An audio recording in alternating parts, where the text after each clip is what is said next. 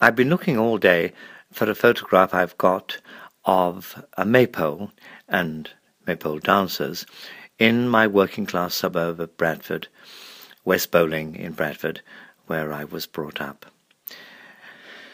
It's a lovely period photograph, but I can't find it. Uh, so here goes. A little snippet from my book Slim Chances.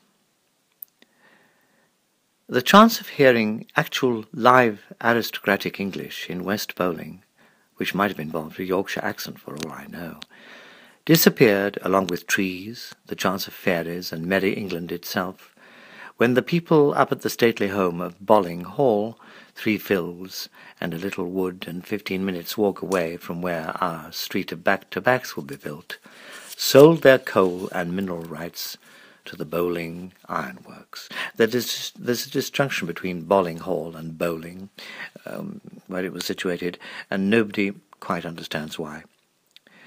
Although there is a fine patriotic ring to the idea that the cannon used in the Battle of Waterloo were manufactured in Bowling, it was not long before the quality decamped to escape the noxious fumes, over the hills and far away to somewhere still green and pleasant. Attempts to see Jerusalem builded here among our dark satanic mills did frequently cease from mental fight, and the arrows of desire struck some odd targets.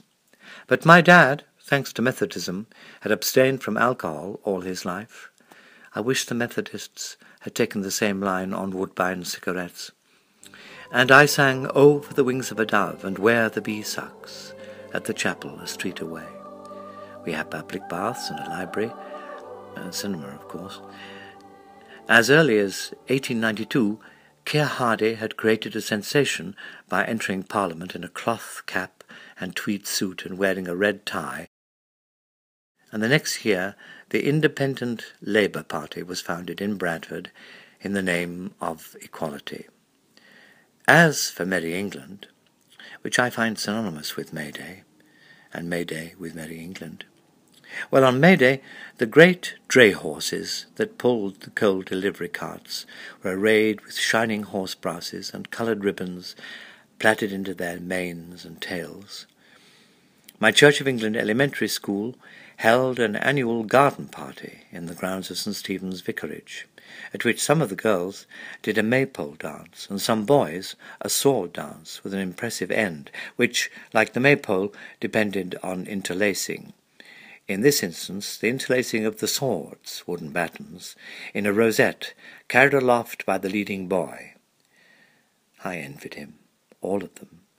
Perhaps I was passed over when it came to these performances because I was a Methodist Sunday school boy. Well, I've seen the sunlight and the limelight since, so I dare say I made up for it. We'll gather lilacs in the spring again and walk together